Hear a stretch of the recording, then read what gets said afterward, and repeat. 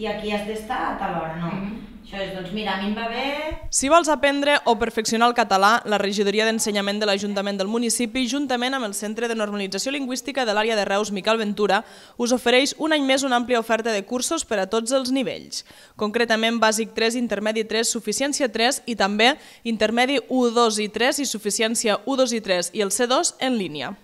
El proper dilluns 18 de setembre s'obre el període d'inscripcions que es farà a la Sala Bonet Castellana del Centre Cultural Infant Pere de dos quarts de cinc a les 8 de la tarda els dies 18, 19, 20 i 21 i de dos quarts de 10 del matí a dos quarts de dues del migdia el dia 22. Les classes començaran el proper 26 de setembre a l'antiga Escola Aster. Durant els dies d'inscripció també s'administraran proves de col·locació a les persones que vulguin millorar el seu nivell de català però que no sàpiguen quin és el curs que els correspon fer.